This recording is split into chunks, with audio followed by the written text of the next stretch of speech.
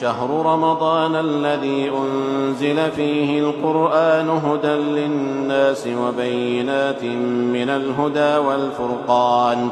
فمن شهد منكم الشهر فليصم ومن كان مريضا أو على سفر فعدة من أيام أخر.